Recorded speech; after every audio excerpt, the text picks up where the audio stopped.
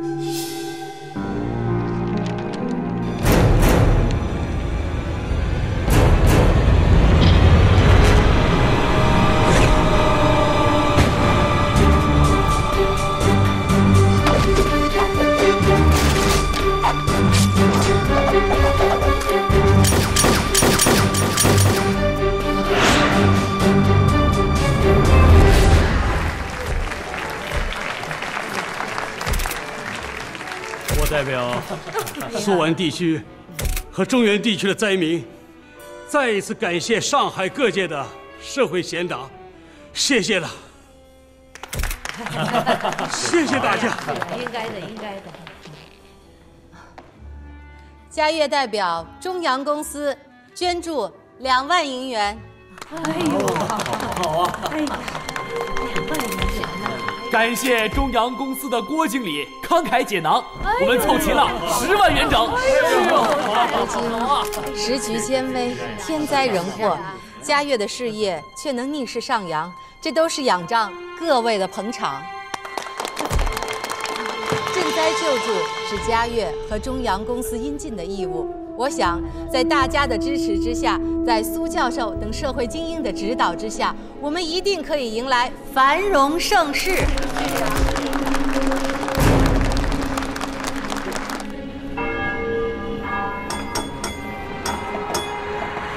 敌人是穷途末路，必然会困兽犹斗。老话说，黎明前是最黑暗的。领导下决心，组织曙光小组。就是出于这个考虑，我们在国防部的内线证实，他们密谋组建了闪电行动小组。值得注意的是，保密局上海站对此却毫不知情。组建这种方式违反常规，也决定了我们的曙光小组，无论是选材用人还是行动方式，必须要超乎寻常。于部长，组织上的安排，我们完全理解，完全接受。鉴于这次任务的艰巨性和以往的斗争经验，我希望组织上能够郑重考虑，由我来负责这次曙光小组的行动。人选已经定了，你们绝对能够完美配合。你是说？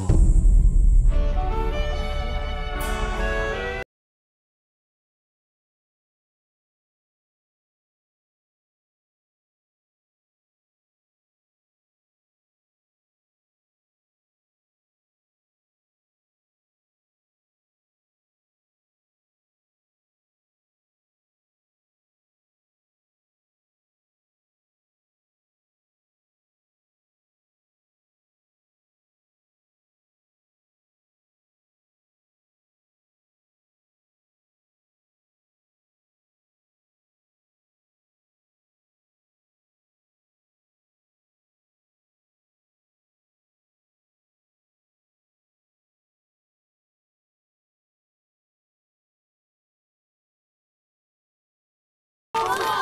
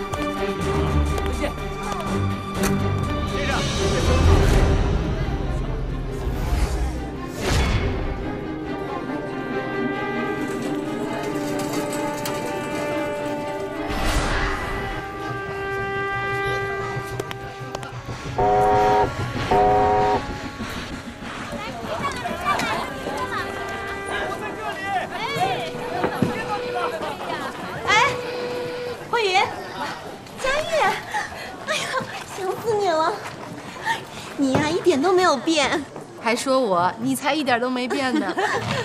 哎呀，来，我给你介绍，我先生黄龙杰。啊，你好。你好。跟电话里说的一样吧？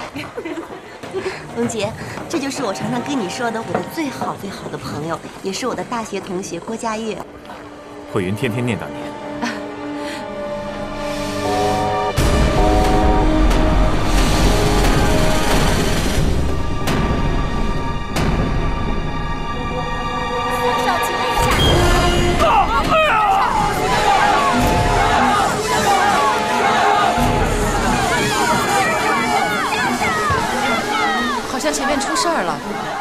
不安全，我们赶紧走吧。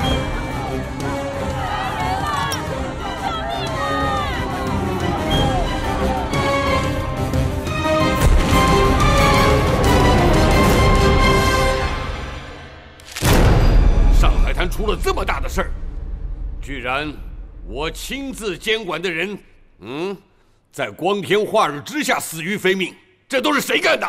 谁这么能干的？啊？这不是在抢青天白日的勋章吗？这件事儿，你们得给我仔细的去查。你们都下去吧。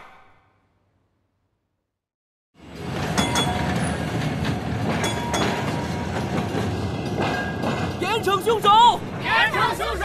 揭露真相！揭露真相！严惩凶手！严惩凶手！这样一位呕心沥血的长者。自己不小心坠入火车轨道，你们信吗？谁相信的？我们不相信。我们认定这是一次暗杀，是国民党特务的无耻阴谋。我们要揭露真相。我们要揭露真相。我们要严惩凶手。我们要严惩凶手。现在昆明的李公朴、闻一多先生，不也遭遇一样的意外吗？其实啊，上海这种地方，更说不清楚了。算了。像政治这种东西，也落不到我们小人物头上，你就别大惊小怪了，让郭小姐烦心。我，我才不会呢，都习惯了。嗨，现在这年月，哪里不死人呀？佳玉，好久不见，你现实了很多，是吗？这是生活所迫呀。哎，我呀，早就没有棱角了。这一点啊，我认同郭小姐。只要买卖能顺利，老婆能安全，日子过得开心，别的就随他去吧。慧云，你真的好福气！哎呀，你看你先生对你多好呀，羡慕死我了。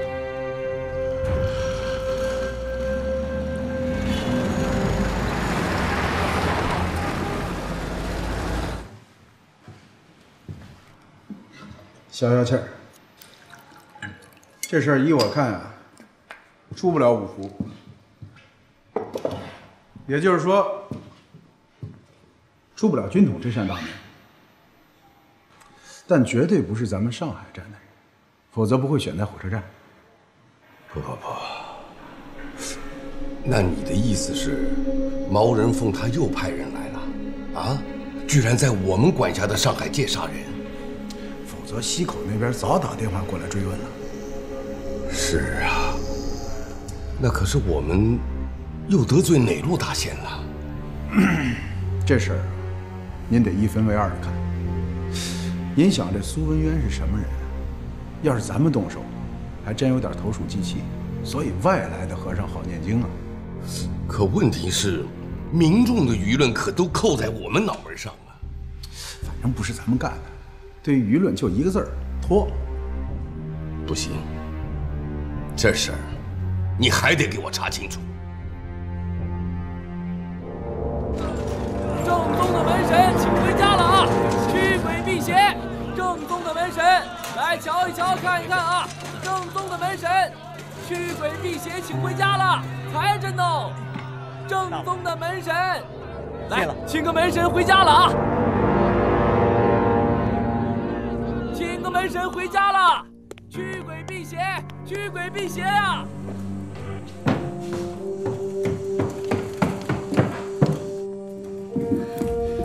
不好了，苏教授遇害了。苏教授的死，一定是那个闪电小组做的。闪电小组？对，这是一股外来力量，他们刚到上海。那为什么韩天石要给他们打前站？不，韩天石不是给他们打前站。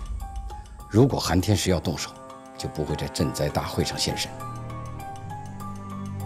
看来闪电小组连韩天石都没有得到封赏。哦，对了，组织上决定怎么应对？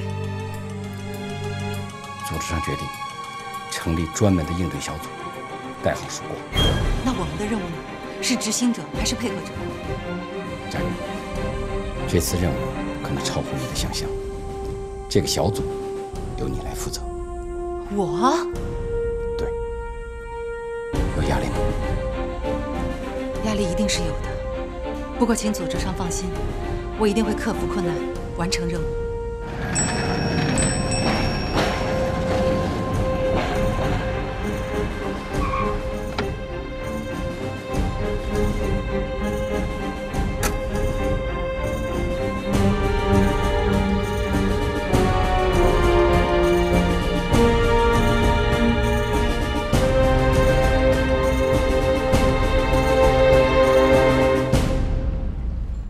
香港铜锣湾丽晶园来的客人，正等着海爷回话，他就让我说这么多。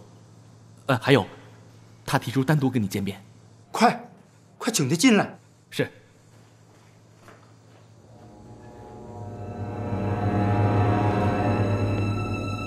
请进。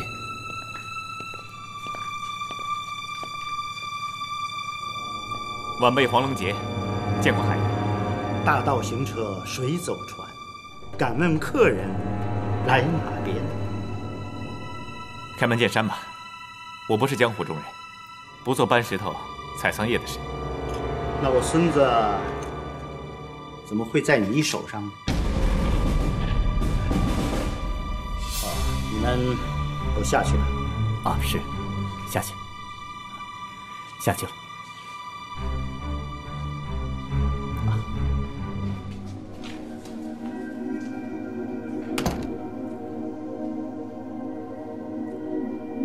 海爷，您不要误会，这东西是从您孙子身上借来的。他现在正和您儿媳妇在香港铜锣湾丽园过着开心日子。如果您不相信的话，可以打个电话问。我也喜欢开门见山，不绕弯子。你既然这样上门，肯定会有来意。爽快一点，把你的身份和来意和盘托出吧。这个银锁。是从西口转过来的。原来是军统，怎么对付我海某人未成年的孙子，还要军统出面？海爷，刚才我已经说过了，您的孙子现在安然无恙。不但他，还有您旧金山的卢夫人，东京的大儿子。甚至包括曼谷的私生子，以及你转到他们名下的财产，还有秘密账号，都安然无恙。不过，时间长了，他就说不好了。算你们狠！其实这几年，军统没少被共产党折腾。不过，找几个人这点本事还是有的。海爷。你以为把家人和财产转到海外，就可以肆无忌惮的辱骂党国、辱骂领袖吗？哼！我海东青从青年时代给洋人做买办开始，没少给党国建设出力。但是做人应该有个底线，你不应该和共产党一个鼻孔出气。这么做是要付出代价的。你想干什么？按照约定，一个小时内，我要去发几个电报，打几个电话。要不然的话，你看看这照片里的人，明天就剩你一个活人。不但如此，你所有的房产和地产，国内的、国外的，甚至包括解放区的。都将会更名易主，从明天起，你就成为一个一无所有的人。哦哦，这位哦，这位先生，你黄龙杰，黄先生，还有时间，咱们再好好谈一谈，再谈谈。其实，时间已经不多了。我要是你的话，我应该知道，现在也没什么可谈的了。我没记错的话，后天就是您孙子的生日。多可爱的一个孩子，来到这个世上还没几年。还有你所有的家人，都要为你这些年口无遮拦，付出死的代价。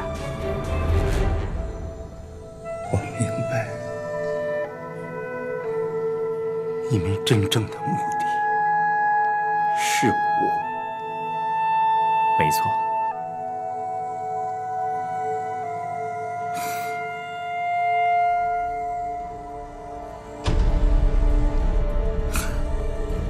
黄先生，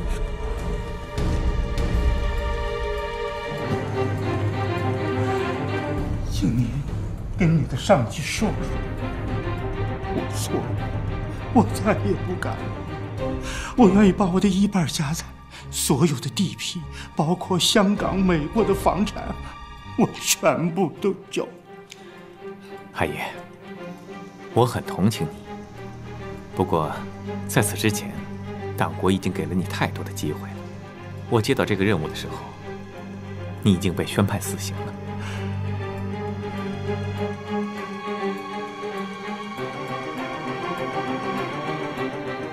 看，外面的空气多好啊！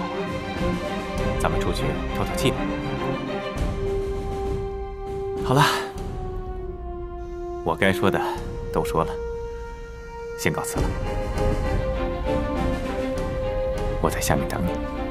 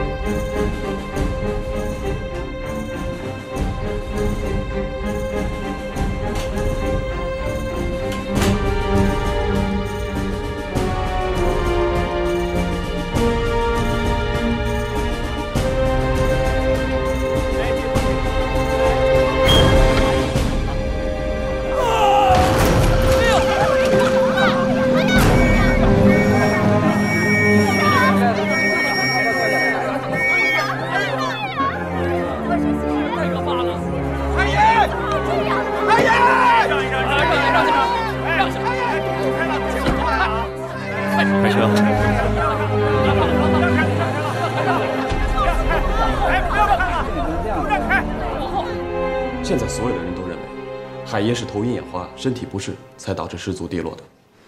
太狡猾了，居然不用凶器就能置人于死地，这个对手可不简单。我拿这三个人的照片给海爷家属看，他们都说，那天来的客人不在其中。那个人的样子十分低调和落寞，是那种没有什么特征、很难被人记得住的人。这倒是做一个天才特务必备的条件。哦，对了，最重要的是，他说这个人是西南口音。西南口音。嗯。好，马上去大华旅社查一下，那里是云贵川旅客聚集的地方。好，我想查到以后就地安排行动。他们会很警觉的，一击不中，再击可就难了。再动手就是真格的了。对了，你上次说的那张牌，龙虎堂许爷。哈哈，到底是神通广大的郭经理呀！这么紧俏的军用物资都信手拈来呀！哈哈，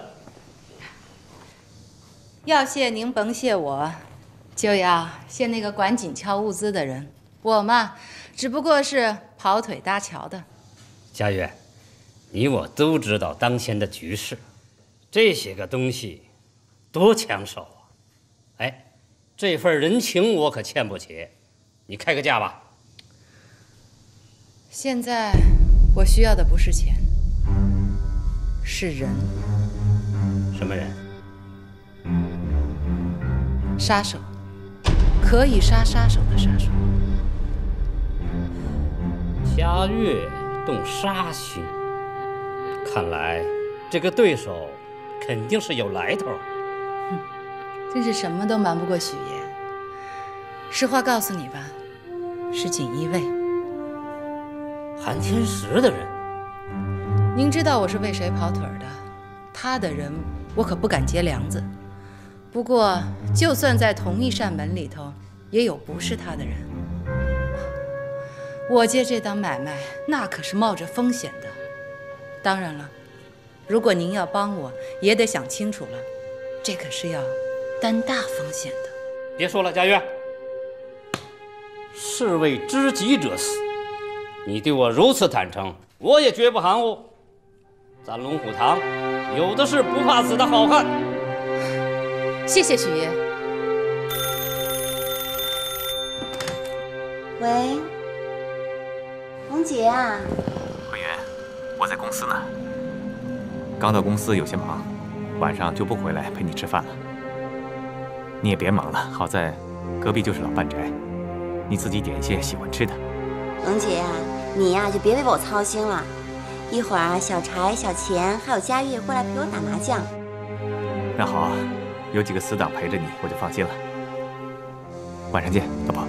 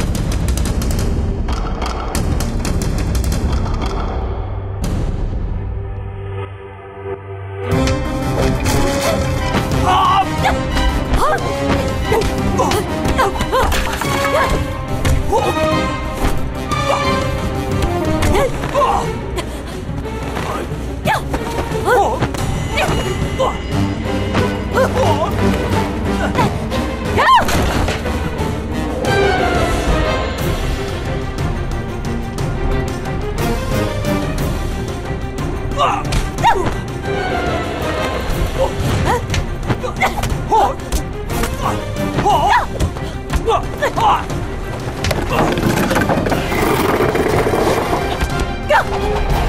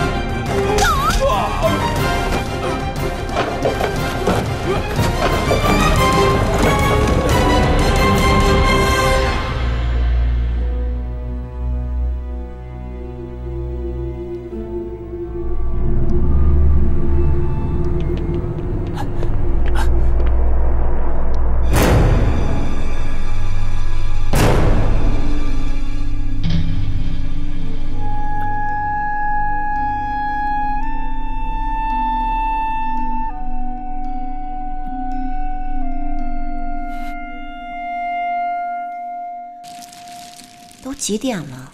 龙姐也该来个电话了。这才刚到上海，她怎么就这么忙呢？慧云，就别担心了，她不会有事儿的。我说慧云啊，我帮你说，你说如今在上海滩当老板的，哪个不忙得前脚扛后脚的？这点，佳悦是最清楚不过了。是呀，我都快被累死了。要我说啊，这男人在外面忙一点不要紧，就怕他在外面出花头。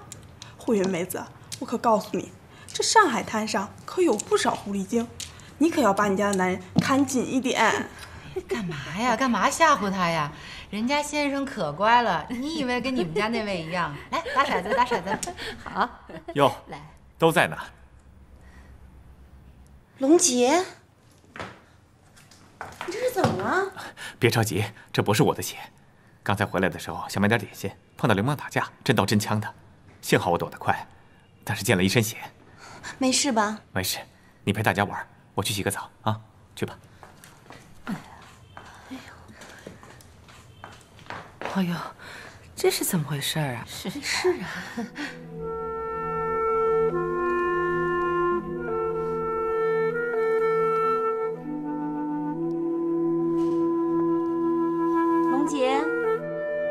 事吧？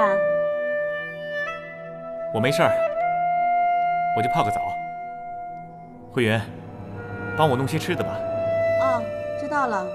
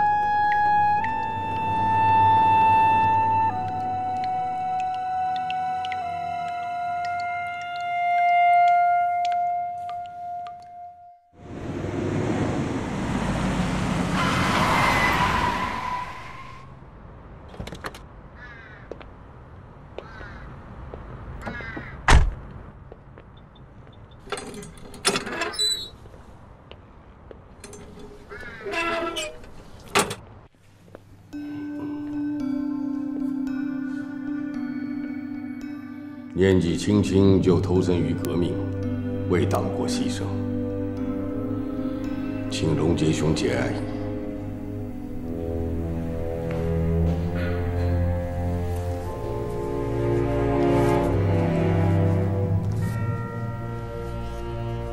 这是什么？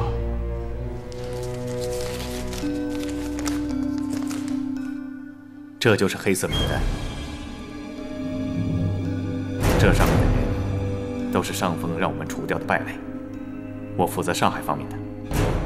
这上海的刘志奇可是党国的元老，怎么，总裁要对他下手？我只负责杀人和怎么杀人。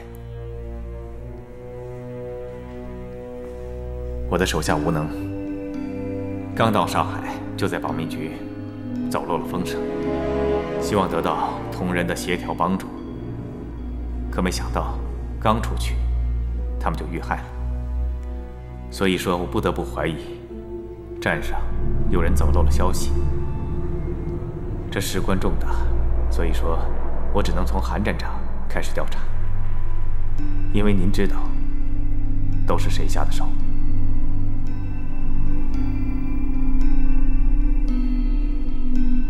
张耀祖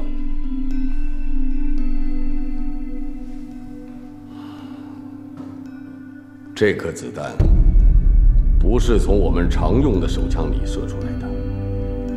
上海滩也很少有人会用这种手枪。那是谁干的？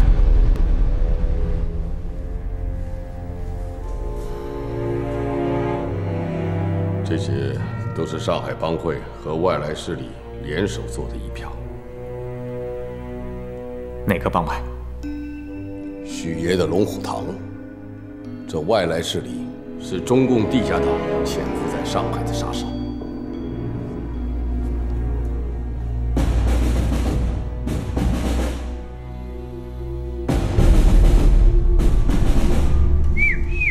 徐爷，徐爷，保密局那边来人了，说是有要事登门讨教。是韩站长吗？韩站长也只是眼见，看样子来头不小。黄龙杰，云南来的药商。韩站长对他呀宠爱有加，我想，药商也是他的掩护身份。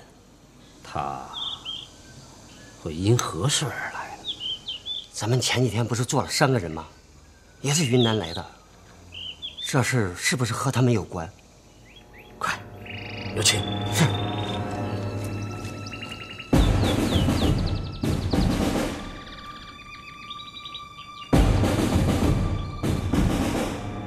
黄先生，你我虽然素未谋面，但得韩站长引荐，老朽不敢怠慢，在特此恭候，请坐。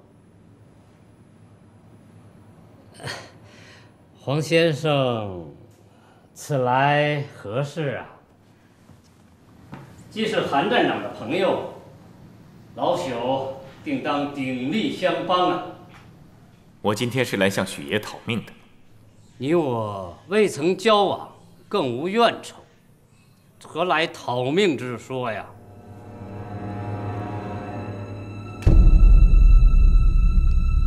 这几个人我不认识，老朽退隐多年，不再过问江湖之事。国难当头，党国义士奋勇坚持，百死不殆。却没想到腹背受敌，惨遭毒手，情何以堪？法何以容？国家栋梁，毁于一旦。如果这件事没个交代的话，我只能平了你龙虎堂，给死去的同志讨个说法。黄先生，严重了吧？欠债还钱，杀人偿命，这是天经地义的事。事已至此。老朽在身边无益，就请黄先生随便吧。韩站长交代过，说许爷是上海滩文人翘楚，我不为难你。但是，谁动手杀了我的手下，我就要谁的命来偿。还请许爷清理门户，把所有凶手全都交出来。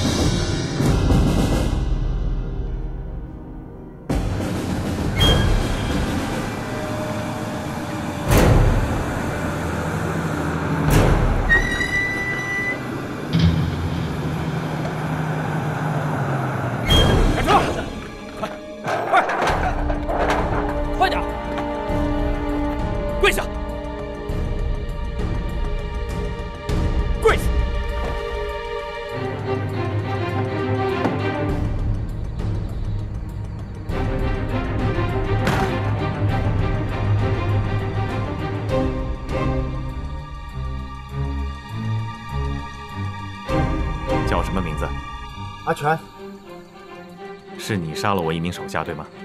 是许爷让我们杀的。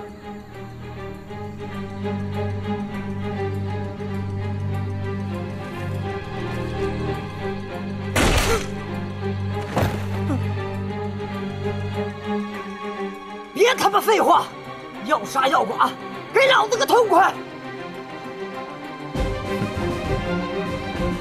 我成全你。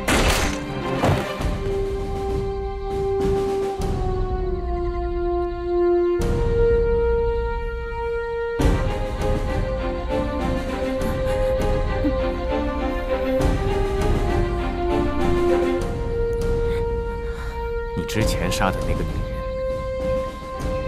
她是我妹。组长，她可是许爷手下最厉害的杀手。眼下我们刚到上海，现在党国正是用人之际。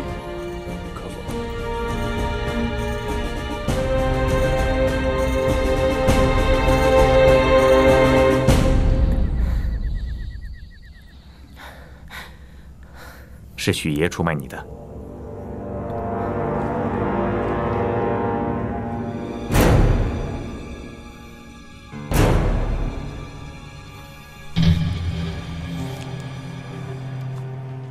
你们准备采取什么样的方案？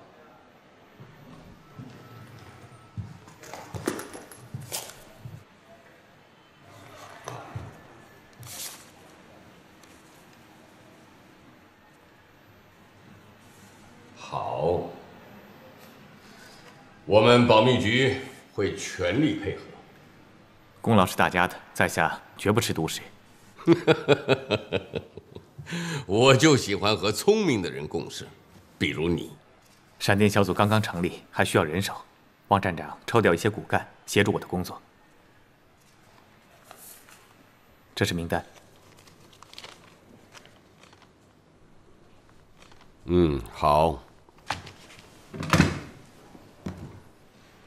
喂，叫林主任马上到我办公室来一下。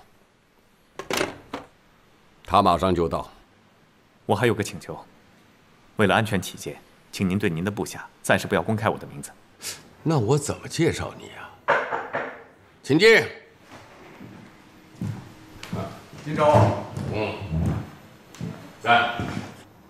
我给你介绍一下，这位是我们上海站特别行动小组上校组长，叫我苍龙吧。干我们这行的，名字并不重要。苍龙组长真有见地。改名我也改个名字，我从小啊就老流两条黄龙鼻涕，干脆我叫黄龙得了。哎哎哎哎！我给你介绍一下，这位是我们上海站办公室主任林云平先生。哼，苍龙组长要在上海执行代号为“闪电行动”的特殊任务，还要从我们这抽调几名骨干进行协助。除了你。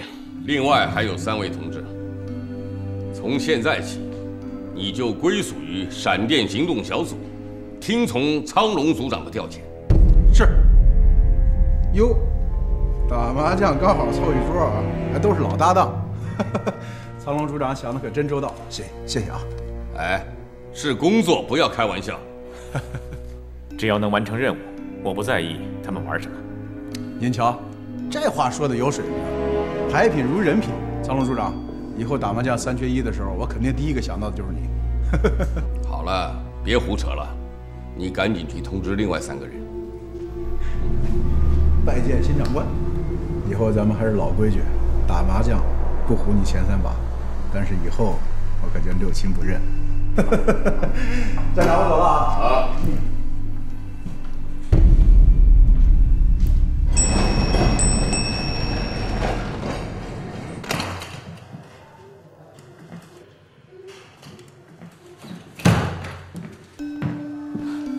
有什么情况？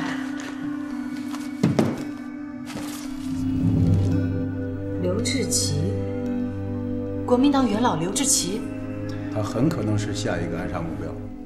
你能确定？应该能确定，不过你们要尽快的到刘公馆把他保护起来。好，我知道了。哎，你也得抓紧时间，赶快拿到那个黑色名单，否则的话，我们的工作太被动了。告诉你一个好消息啊！我现在很荣幸的已经加入了闪电小组，是闪电小组的组长亲自发展我的。真的？对。那你见到他了？他究竟是谁？什么来路啊？哎，说不清楚。反正他告诉我他叫苍龙，但我觉得这一定不是他的真名字。他的具体情况我现在还没摸清楚。哎，开心点好不好？以后我们就是冤家了，啊，别搞错了。我才不会搞错呢！上一次我们是假扮夫妻，可这一回我们可是对手了。不过说真的，他们现在开始怀疑我了。这次让我进入闪电小组，只是一个幌子，真实的目的是为了便于监视我们几个。这么说，你暴露了？